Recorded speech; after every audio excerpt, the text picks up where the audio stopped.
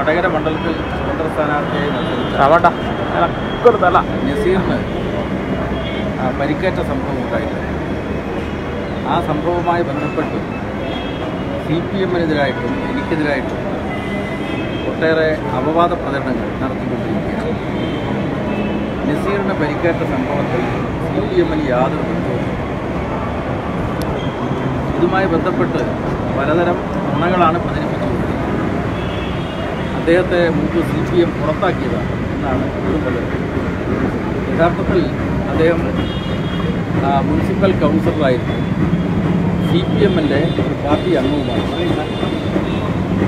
Party membership പുതുക്കുന്ന ഘട്ടത്തിൽ ഈ മെമ്പർഷിപ്പ് പുതുക്കുന്ന ഘട്ടത്തിൽ സ്വാഭാവികമായിട്ടും ഓരോ പാർട്ടി മെമ്പറും പ്രതിനിധീകരിക്കുന്ന സാമൂഹ്യ വിഭാഗങ്ങളെപ്പറ്റി അപ്പോൾ ആ സാമൂഹ്യ വിഭാഗങ്ങളെ വിഭാഗങ്ങളെപ്പറ്റി ചോദിച്ചത് ശരിയല്ല.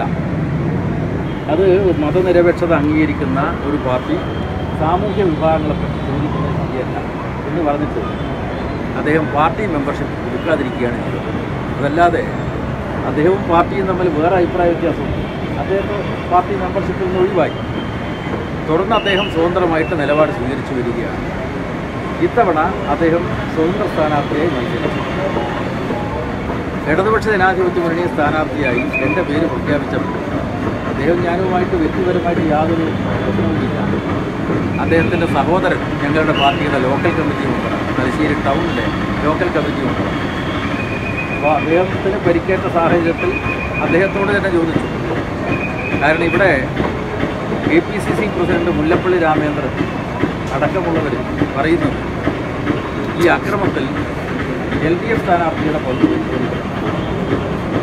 ഇവിടെ എൽ ഡി എഫ് സ്ഥാനാർത്ഥിയായിട്ട് ഞാൻ മത്സരിക്കുമ്പോൾ അദ്ദേഹത്തിന്റെ മത്സരം എനിക്കെന്തെങ്കിലും അലോസരം ഉണ്ടാക്കണം.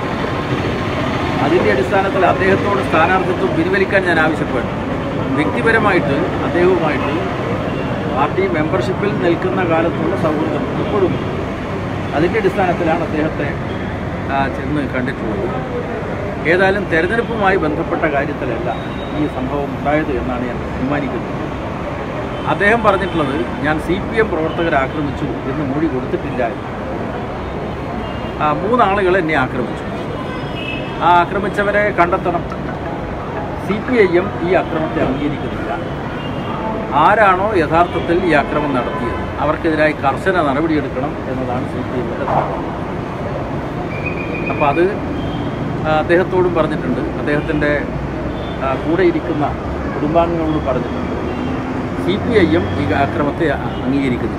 പക്ഷേ ഈ നസീറിനെതിരായിട്ടുള്ള അക്രമം ഉപയോഗിച്ചുകൊണ്ട് സി പി എമ്മിനെ പ്രതിക്കൂട്ടിൽ നിർത്താനാണ് എല്ലാ വലതുപക്ഷ രാഷ്ട്രീയക്കാരും ശ്രമിക്കുന്നത്. അത്തരം അപവാദ പ്രചരണങ്ങൾ എല്ലാ കാലത്തും ഉണ്ടായിട്ടുണ്ട്. ആ അപവാദ പ്രചരണങ്ങളൊന്നും വിജയിക്കാൻ വേണ്ടി പോകുന്നില്ല.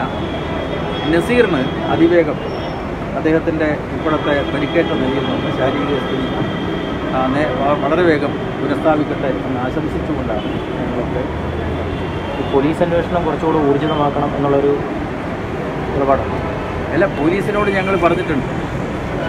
യഥാർത്ഥത്തിൽ ആരാണോ അക്രമത്തിൽ പങ്കാളിത്തം വഹിച്ചത്. അവർക്കെതിരായിട്ട് കർശനമായിട്ട് നിയമ നടപടിയെടുക്കണം എന്ന് തന്നെയാണ് സി പി ഐ എം ആവശ്യപ്പെടുന്നത് ഹാർഡ്വിയേഴ്സ് തൃശൂർ റോഡ് വളാഞ്ചേരി.